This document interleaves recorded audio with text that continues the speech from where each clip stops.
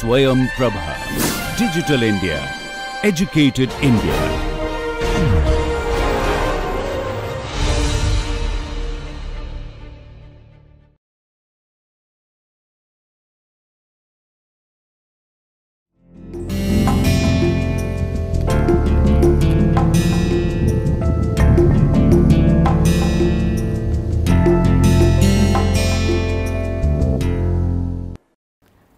And welcome to this session on Principles of Management.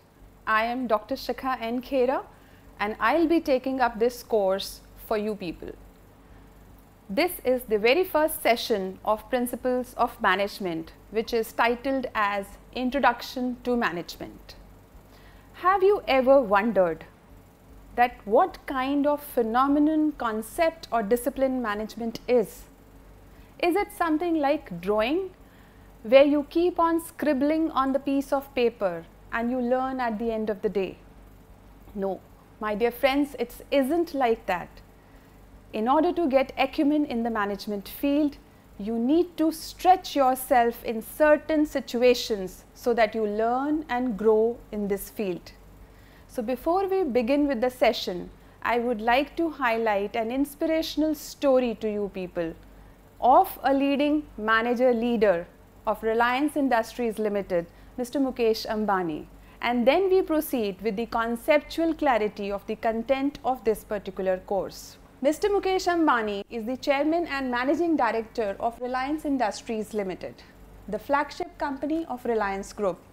And as a result of Mr. Mukesh's effective leadership and path-breaking management practices, Reliance has now become the largest private sector enterprise in India and also features in the Fortune 500 list of companies.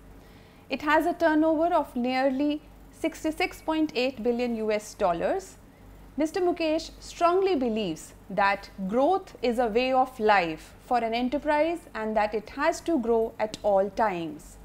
Mr. Mukesh's unique formula for management includes establishment of an open system of management through the introduction of standard operating procedure. So, the first thing we highlight here is the standard operating procedure.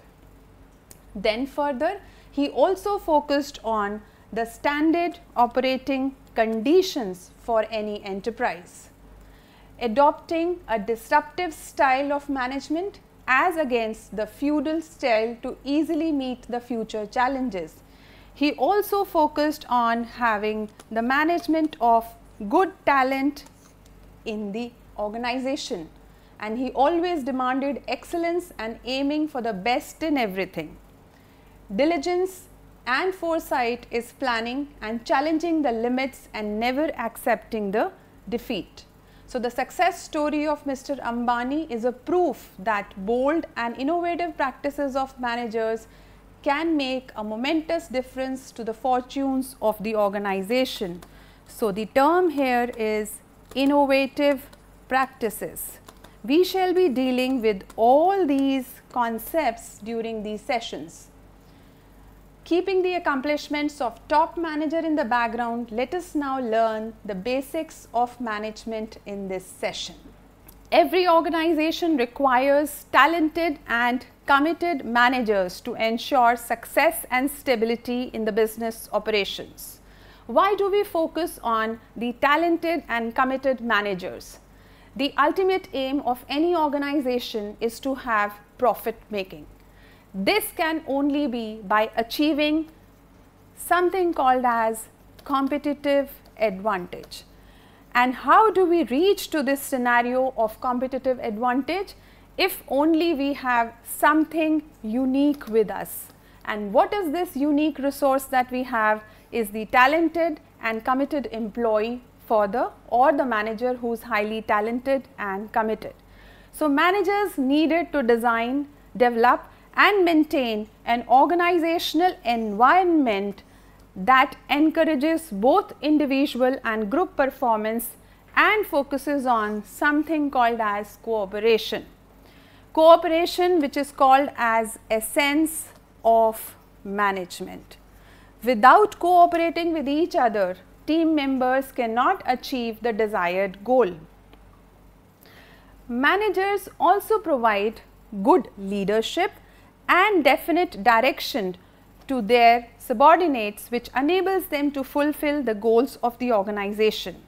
Thus, every organization whether big or small, public or private, profit or service oriented should have managers to manage its operations and managers usually perform either at higher, middle or lower level of the organization. What the manager do as a part of their job is usually known as management. Now, if I may ask you students, do you agree to it that management begins at home? Yes, of course, management begins at home and we all have to manage our daily chores and affairs in a synchronized manner in order to have the final output or desired results within the given resources. And that too we have to make sure that the optimum utilization of resources also takes place.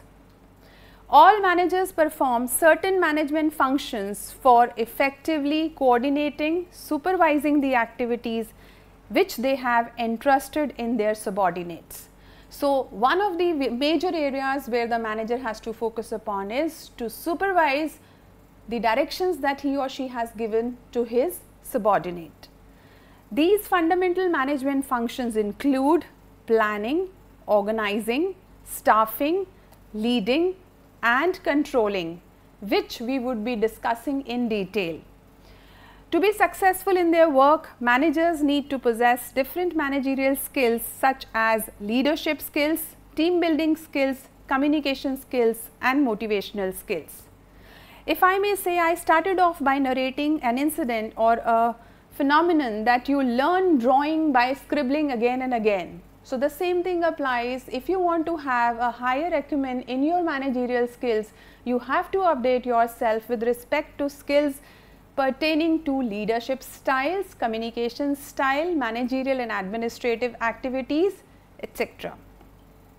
However, the skills and attributes required for effective management and goal accomplishment must be updated and upgraded constantly.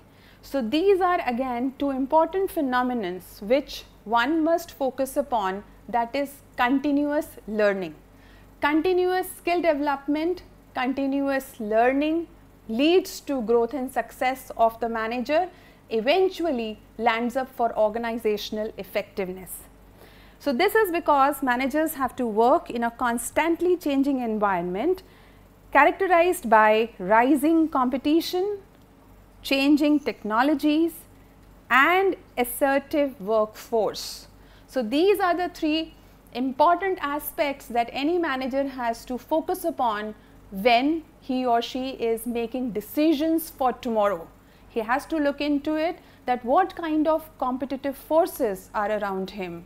He has to also focus upon the workforce, its diversity, the level and acumen of the workforce and also he has to focus upon the technological changes which are taking place around him.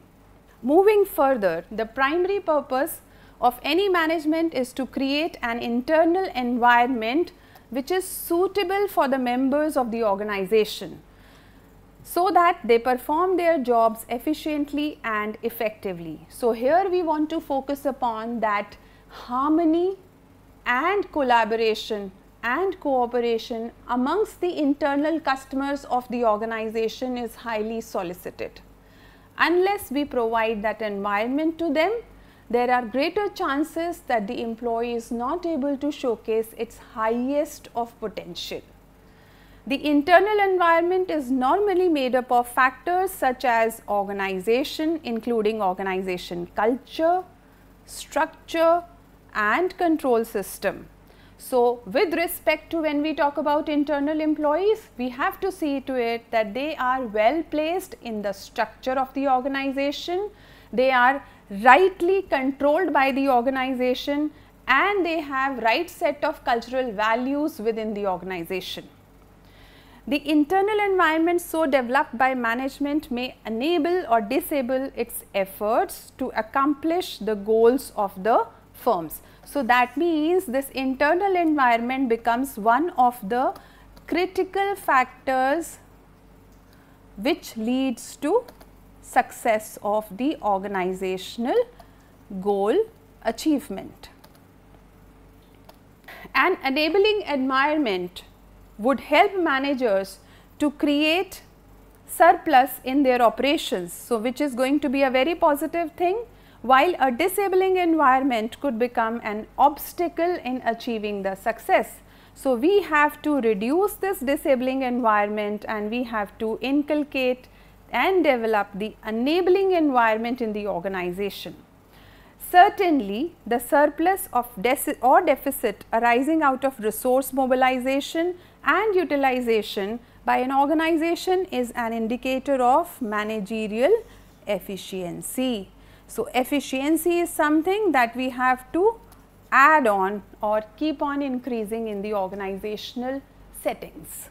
Now, let us formally move on to definitions of the management.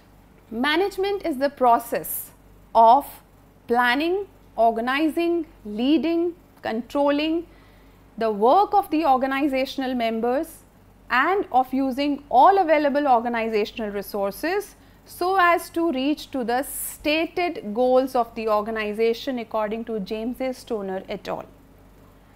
According to Stephen P. Robbins, management involves coordinating and overseeing the work activities of others so that their activities are completed efficiently and effectively. In simple terms, we may define management as a process concerned with the effective utilization of human and physical resources for attaining organizational and individual goals through a facilitating environment.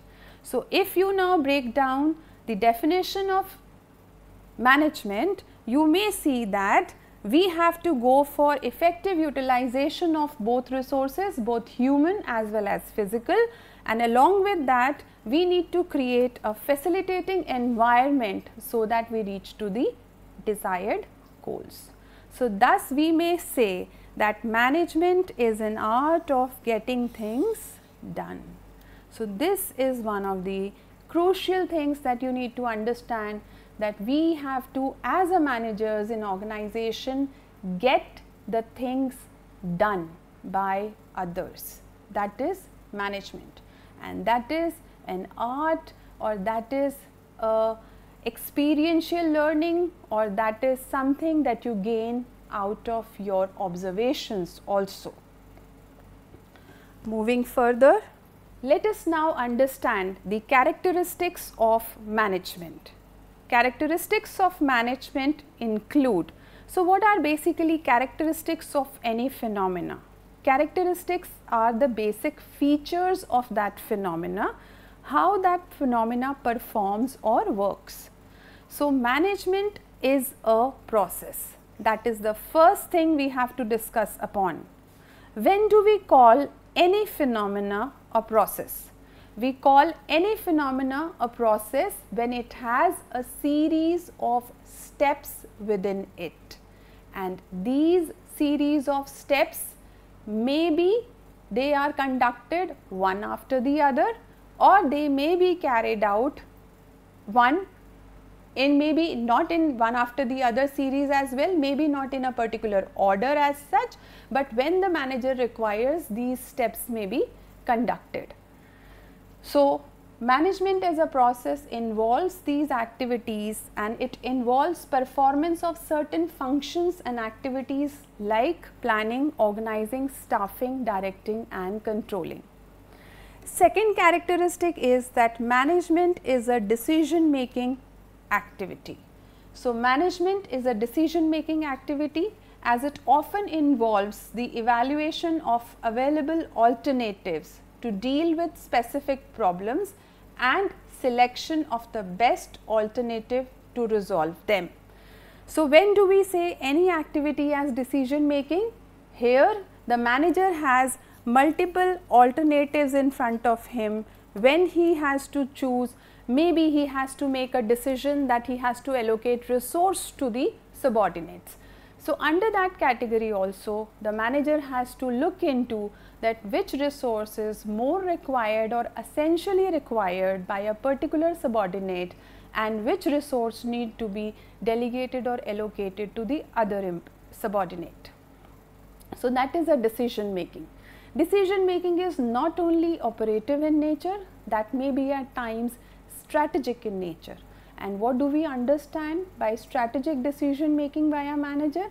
When the manager has to decide upon the broader vision of the organization, when he has to focus on where the organizational steering wheel has to be taken, which direction to be followed, what kind of strategic move the organization needs to take up like either it is expansion, growth, focus, niche strategy or maybe a low cost strategy. So, these are all decisions that a manager has to take.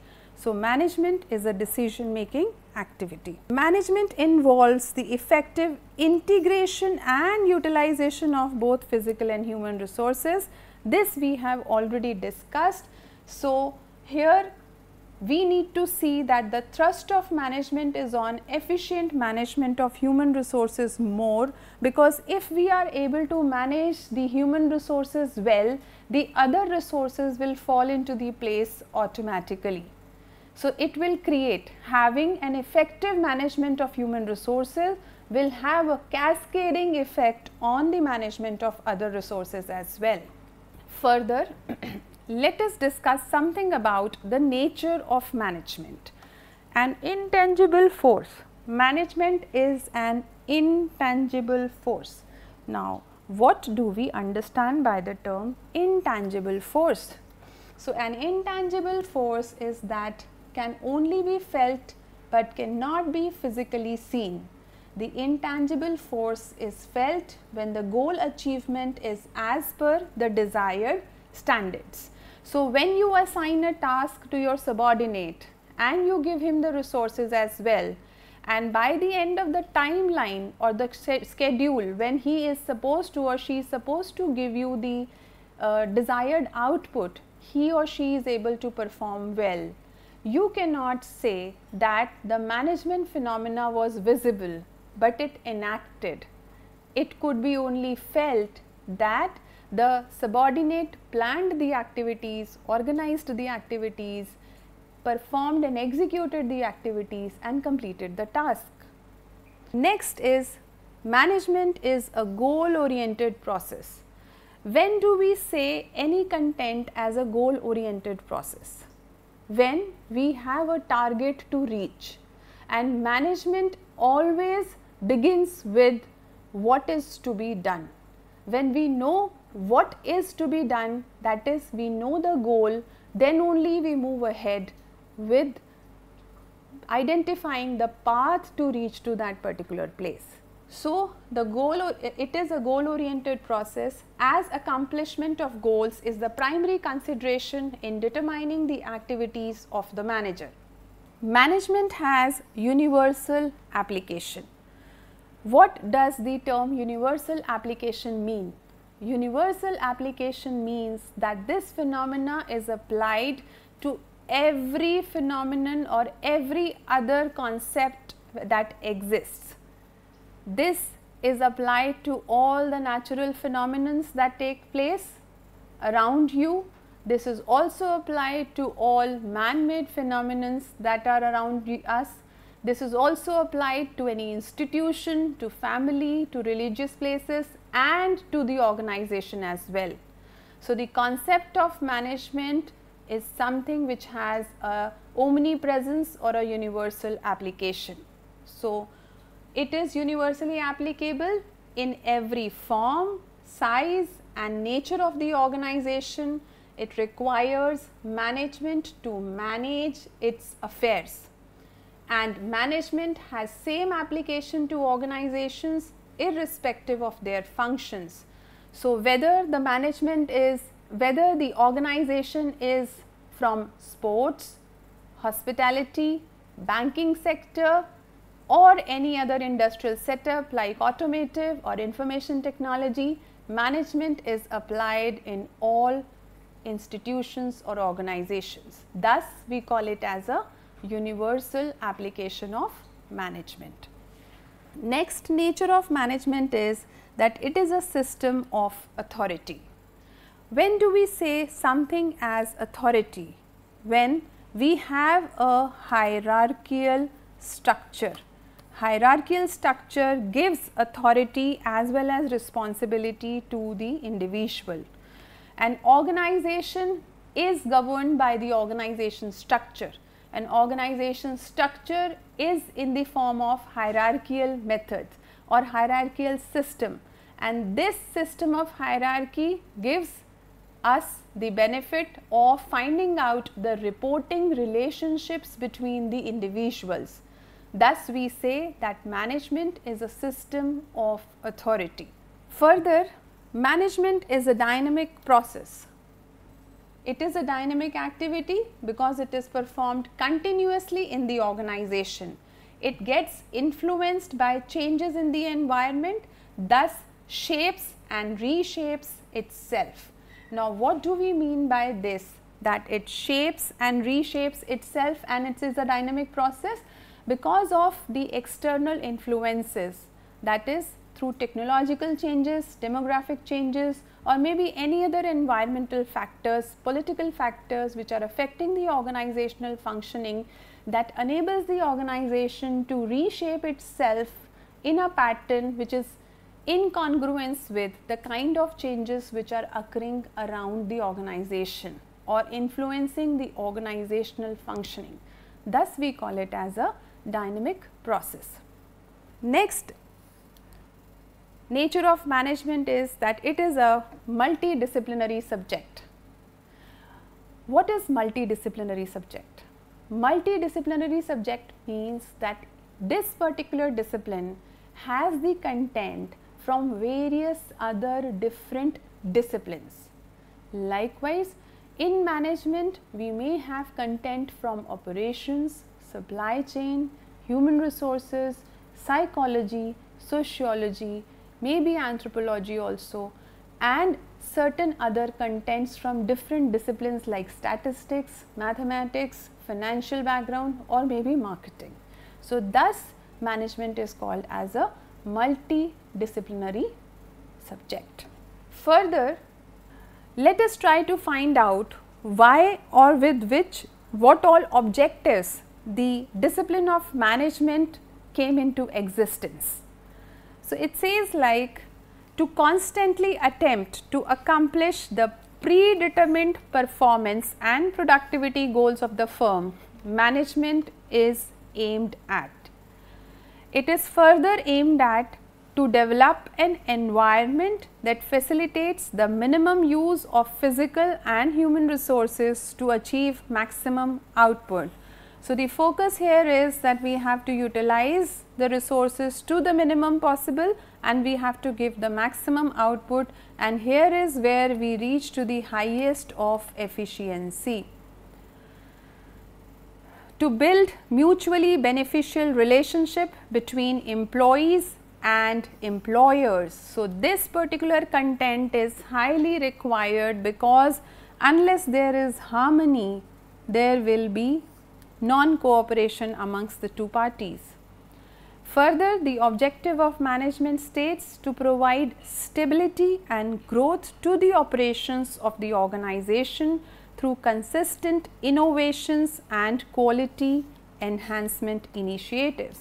So, as a manager, students tomorrow you have to focus on giving a creative culture or a platform for increasing the innovative pattern or innovations in the organization and reaching to those heights with the help of innovative measures which lead to quality enhancement initiatives. Further, to work continuously towards the betterment of society by satisfying the organizational's social responsibilities in efficient and fair manner. So, as we live in society, we have to give back to the society as well. We have already taken lot of resources, maybe natural or man-made, services from the society people. So, in turn an organization needs to return the same back to the society. So, that is also another important objectives of the field management. Moving further, so there is a debate which says is management a science or an art? This question has given rise to a lot of discussions among management experts and practitioners. Due to its inherent characteristics, management experts find it difficult to decide conclusively whether management is a science or an art. In this regard, a few experts claim management as a science while a few others argue that it is an art. So, let us discuss both the point of views. If we go by management as a science, so it is supported by the statement that it is a systematic body of knowledge. Information gathered in the management field is objective in nature. So, that means it is rational it has rationale and it has facts attached to it. Statistical analysis of information may be carried out as in the case of scientific field and adopt scientific methods to solve reoccurring managerial problems. So, that means scientific methods are also involved in the process of management.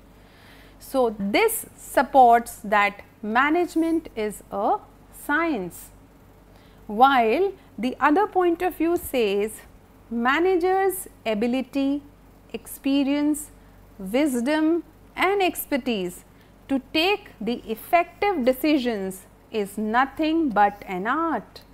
It is that art, that intuitive behavior or that heuristics that he uses for decision making so that the effectiveness is achieved and that never comes out or in case of an art it does not come out with the help of any rationale rather it comes out because of his experience, wisdom and expertise. Managers often use their instincts and insights for decision making. So, these two characteristics of having instincts and insights for decision making supports the phenomena that management is an art.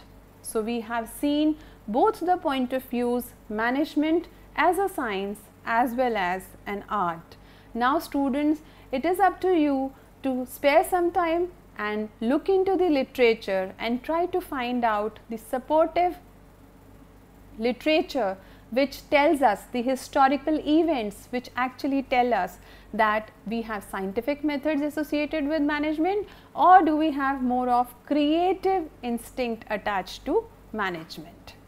Now, another important point to be discussed as management students you need to learn what is the difference between two terms that is management and administration. On the face of it, it seems that both look alike but there is a thin line difference that we need to understand how these two terms differ from each other.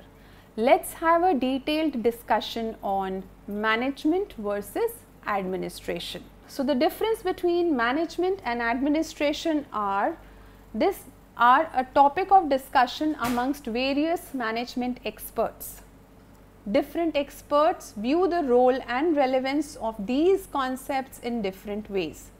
For instance, a few management writers consider management and administration as identical concepts. According to them, these two are basically similar terms. Even if there are a few subtle differences between them, like in dictionaries, they have little or no relevance in the real world of business. But a majority of management experts view administration and management as two dissimilar concepts with meaningful differences in their characteristics. So, British and American experts hold different views regarding the relative importance of these two concepts. We shall now briefly analyze their point of views. British management experts view administration as a part of management. According to them, management in totality is wider than administration.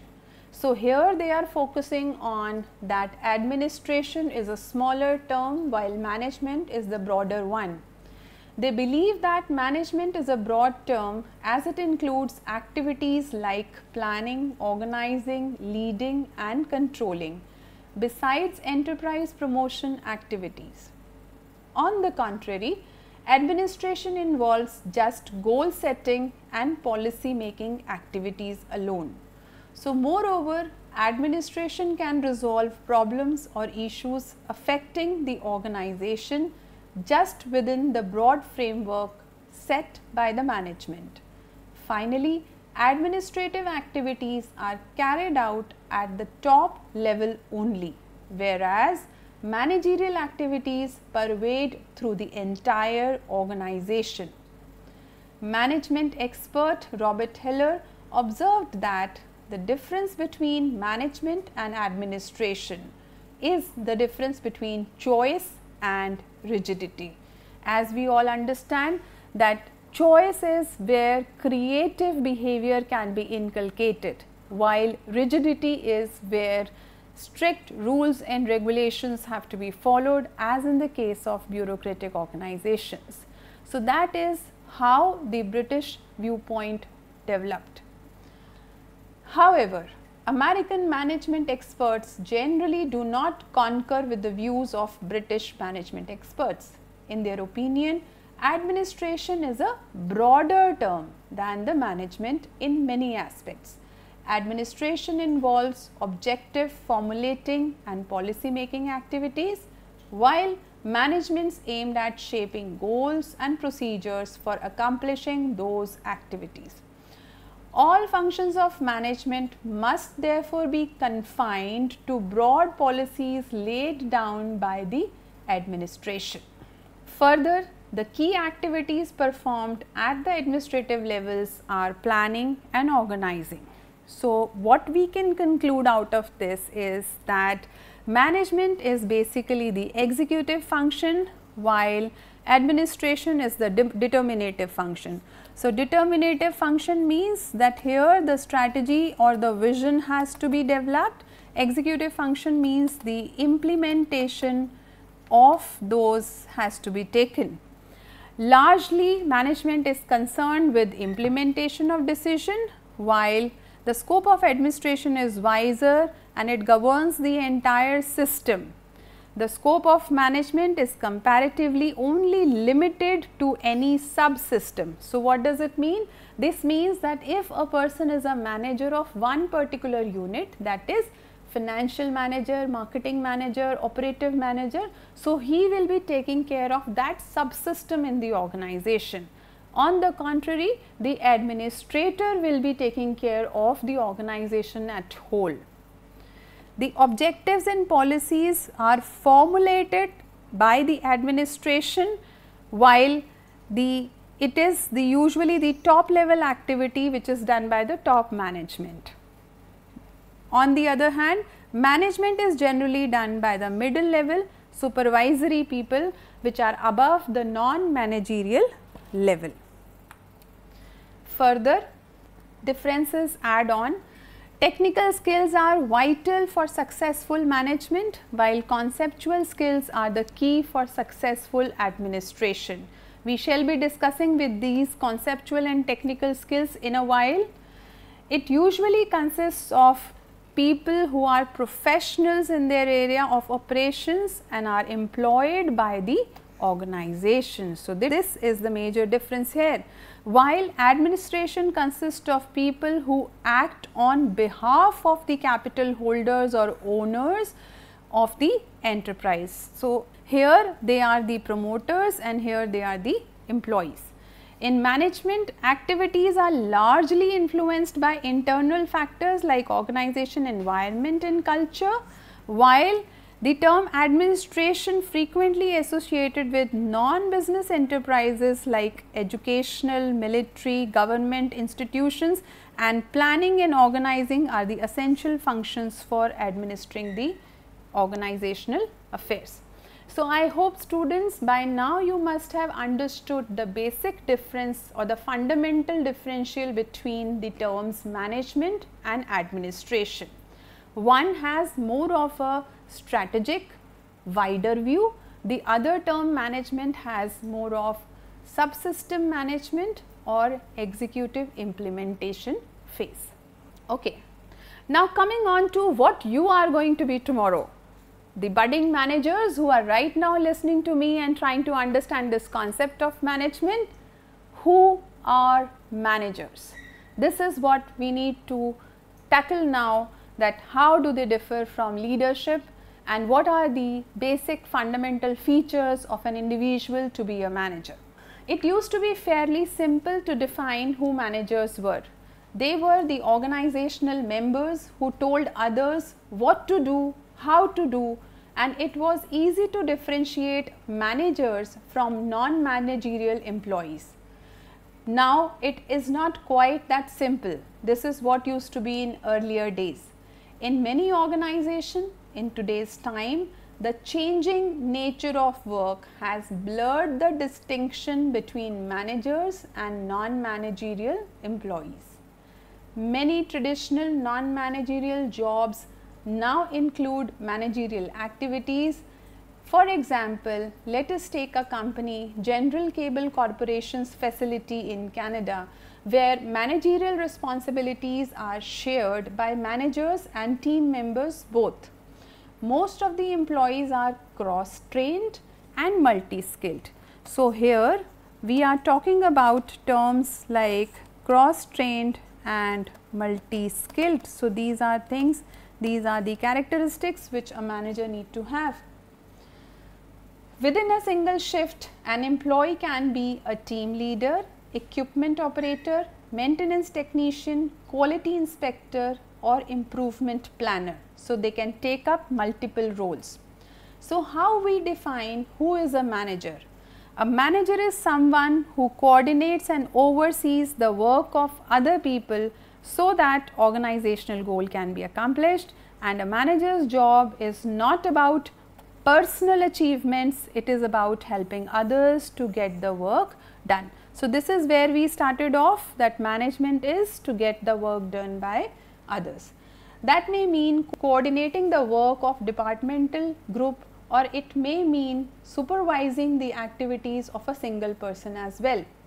It can also involve coordinating the work activities of team with people from different departments or even people outside the organization such as you may have temporary employees or individuals who work for organization suppliers. Keep in mind also that managers may have work duties not related to coordinating and overseeing others work. For example, an insurance claim supervisor might process claims in addition to coordinating the work activities of other claim clerks as well. So, there, there can be chances where a particular manager is also going an extra mile and doing a little more activities than what he is assigned with. So, is there a way to classify managers in the organization? Yes. In traditional structured organizations which are often pictured as a pyramid because more employees are at lower organization levels than at upper levels, managers can be classified as first line managers, middle managers or the top managers. Let us now try to understand these three levels of management. The first level is top management, middle management and frontline management. All managers perform certain administrative roles that is decision making and managerial role that is execution. So, we have to first find out that what is the role assigned to the manager. Based on that we can give him the designations. So, when it comes to top management and middle management decision making, and when it comes to front line and middle management execution of those decisions they take place. However, the extent of each role performed by these managers usually depends on their position in the management. The authority and responsibility of a job is also determined by the location of the job in the managerial hierarchy. So, the time and effort spent on managerial functions differ from level to level. Typically, as you may see on the screen, the management of organization is classified into three categories. So, the top manager is the one who operates from the highest level of the organization and are usually called the top managers. These managers are generally few in number but vested with enormous powers. So, what are the power students top managers that have? Top managers have the power to decide upon what is the direction of organization be like in future what are the competitive forces, how much is the market share you wish to earn, what is the profitability you want to plan, what is the new location you want to open your, your plant at or how many new employees you want to recruit. All these critical decisions or the more important decisions are taken by the enormous powers that the top management has. Top managers are entrusted with overall responsibility of managing the whole organization.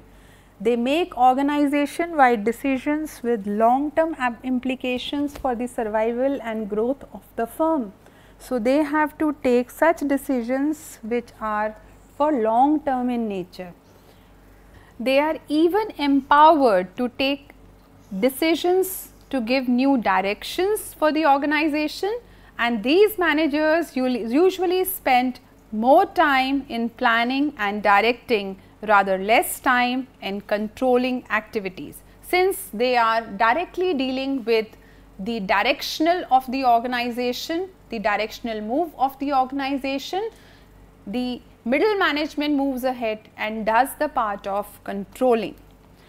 They determine the top management, they determine the nature of relationship between the organization and its external environment.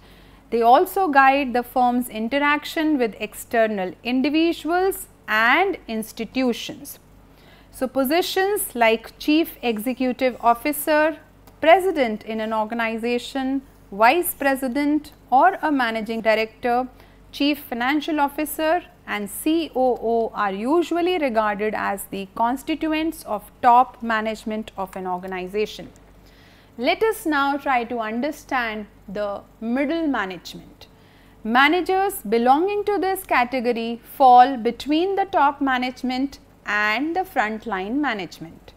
They receive, so their major part is to receive orders, receive goals, orders and directions from the top management and implement them through frontline managers. In this regard, each middle manager supervises a number of frontline managers normally within the related fields.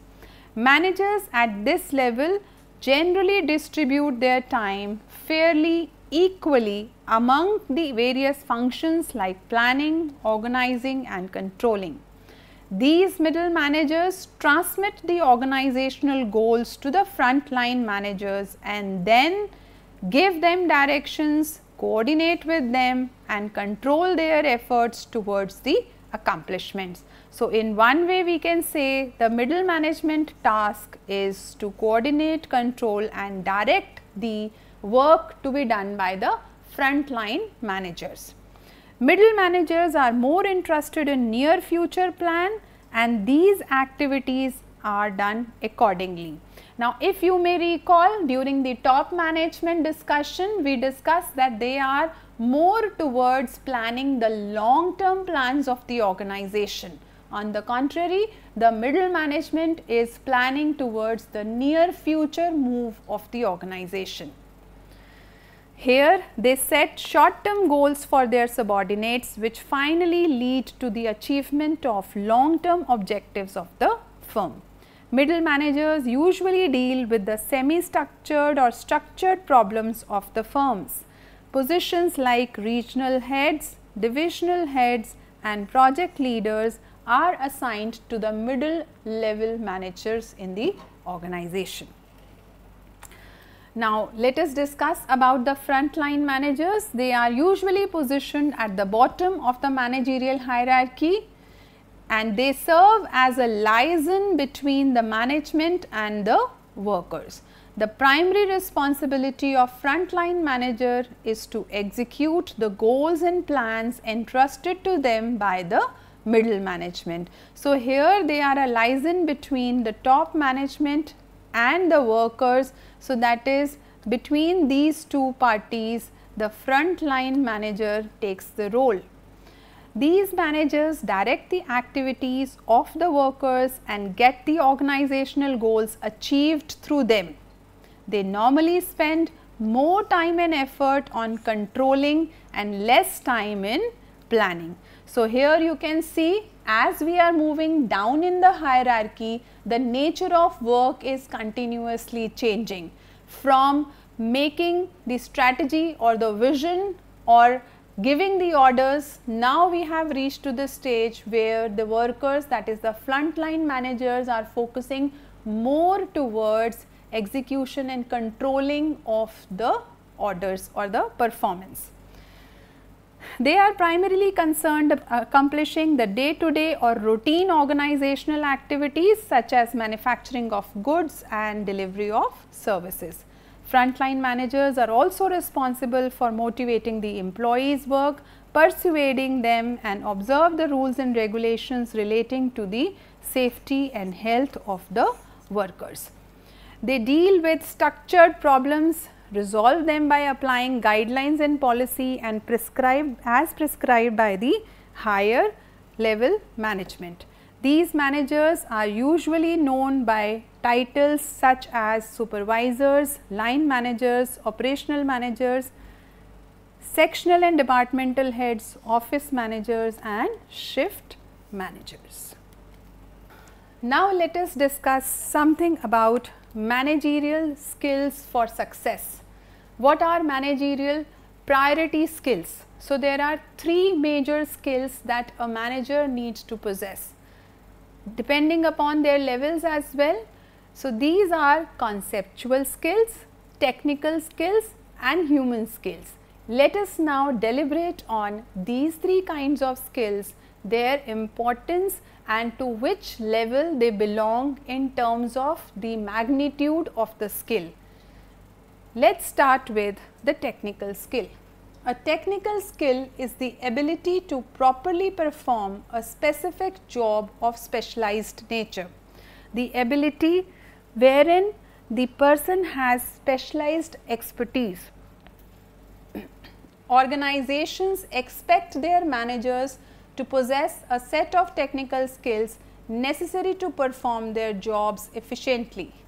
Technical skill does not refer to any high technological skills Instead, it refers to one's knowledge of the job and expertise in job specific techniques and procedures.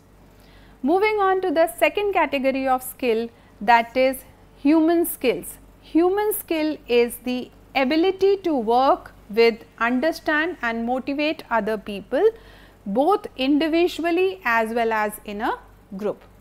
The third category of skill is the conceptual skill that is the mental ability to analyze and diagnose the complex problems and situations. Apart from technical skill, human skill and conceptual skill, we have further three more skills that are essentially required by a manager. So, these include political skill, diagnostic skill and digital skill. Let us try to understand these three skills now. Political skills are useful for managers to gain knowledge of others at work and use the same to influence their behavior such that the organization and individual goals are accomplished. So, when we talk about that a manager needs to possess a political skill, so that means he should have the ability to create an impact on an individual's thought process, to influence the behavior of individual, modify the behavior of that individual who primarily may be the subordinate of that manager so as to get the desired results. The second skill is diagnostic skill these are helpful for managers in effectively choosing the best course of action for accomplishing the goal. Diagnostic or analytical skills, they help the manager in better understanding the cause effect relationship and also the problem solving process. As we have already discussed students that a manager has to continuously go for decision making now, this decision making can only be appropriate if the diagnostic skill of the manager is in place. That is, he has the ability to analyze, to find out the rationale and to do the fact check and after this analysis is able to come up in a scientific manner the right kind of solution for that problem. The third skill is the digital skill. Digital skills are essential nowadays for managers to make well informed decisions in the modern electronic environment. Paul Gilster defines digital skill or literacy as the ability to understand and use the information in multiple formats from a wide range of sources when it is presented via computers. So, what do we want to infer here? Right now also you are able to listen to this session because of the digital skills only. So, tomorrow again when you think of joining an organization as a manager, it is a much required skill in today's time that you upskill yourself in all the related digital skills pertaining to your subsystem area. Now, let us deliberate upon two points we have already discussed the level of management. If you may recall, we have discussed about the level of management in terms of the pyramid where on the top it was top management, then it was middle management and then it was frontline management. So, this was the pyramid of level of management. We have already discussed the three skills technical, human and conceptual skill. Let us now try to see that what is the magnitude of these skills related to each level. As you can see in this graphic, top management with respect to technical skill is required to have some information about it, but the most information on technical skill is expected from the lower management while the middle management needs to have a fair idea about the technical skill to carry out their work. When it comes to conceptual skill, the top management needs to have the most conceptual skill. Why so? As we have discussed, it helps them to have a problem solving acumen and a decision making ability. The middle management will have moderately fair amount of conceptual skills while the lower management is expected to have the least of all amongst the three levels. One interesting thing students I think you can observe is the human skills. These human skills are all same in magnitude at all level. Can you people answer why? Yes, you can answer it very well and I am sure you people must be knowing the appropriate answer to it. But let me just put those into words. Human skill is something which relates to high amount of emotional balance, emotional intelligence, empathy and compassion. After all, a manager, worker, subordinate or a top manager, everyone is a human being and as a result, we need to see that how much compassionate or emotionally intelligent and balanced managers we are. So, we have to have equal amount of human skill at all level by all people irrespective of the amount of conceptual or technical skill we possess or irrespective of the level in the hierarchy where we are placed in organization. So, students it is requested and required that kindly make sure that while you move ahead in your career you are focusing highly on developing your human skill. Now, where do managers work? Managers work at a place which is called as an organization. Now, what is an organization? An organization is a group of people who join hands to accomplish some specific purposes. And what are the characteristics of the organization? Characteristics include every organization has a goal, be it a sports organization or a hospital. Every organization has a structure be it a university or be it an IT sector. Every organization deals with people both internal and external customers. So, these are the common characteristics with which the manager has to deal with. So, the manager has to deal with these three parameters and work towards achievement of the goal has to maintain the hierarchy levels in the structure and deal compassionately with both internal and the external customers. Now, why are managers important? They are important because organizations need their managerial skills and ability. Why organization need their managerial skill and ability? Because of the uncertain, complex and chaotic environment in which the organization is functioning the organization requires those skills which the manager possess to deal with these uncertain situations. Skills and ability as a manager have been very crucial in guiding the organization through the challenging times. The managers are highly critical in getting the things done, thus they are required by the organization.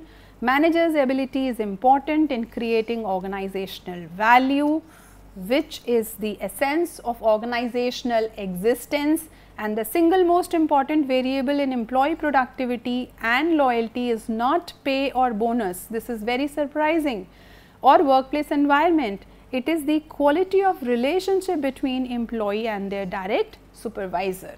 So, these are the things that make the importance of manager at a workplace and why is he desired or why we need to study management and execute the management processes. Now, there are two concepts which I will be quickly focusing upon efficiency and effectiveness. So, management relies on these two terms. First is goal attainment which is called as effectiveness that is we are able to attain what we started off with. So, we are able to find out where we have to reach and the second is resource utilization and low wastage which is called as efficiency.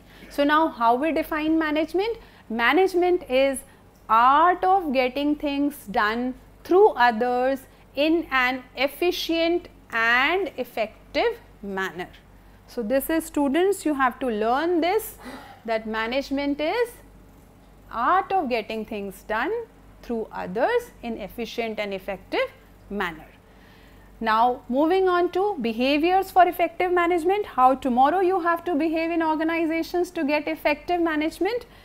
Initiate and implement change, which is important. We must be at the pace with the world around us.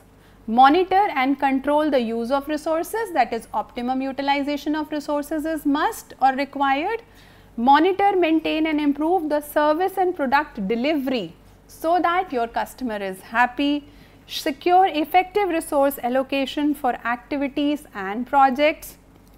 So, this will make us have optimum utilization of resources, develop teams, individuals and self to enhance the performance. So, here we have to focus on how well we are able to upskill ourselves, upgrade ourselves plan, allocate and evaluate work carried out by the teams. And this gives us the right kind of direction. And then create, maintain and enhance effective working relationships. And finally exchange information to solve problems and to make decisions. So, this exchange of information is a critical factor, communication plays a major role in management, right time, right communication leads to effective decision making. So, here we come on to the summary of this session which is introduction to management which says that we must take into consideration that management is a universal application phenomena which is applied to all kinds of organizations. The reality of work is that you will either manage or be managed. So, the choice is yours. You want to manage or you want to be managed by others. And we need to have awareness of significant rewards. These rewards do wonders and magic. With the help of these rewards which the organization is in place placing it and finally the rewards are executed as well and are great motivators for the star performers to be retained in the organization. So, I hope students you must have gained some insight from this particular session on introduction to management. Thank you.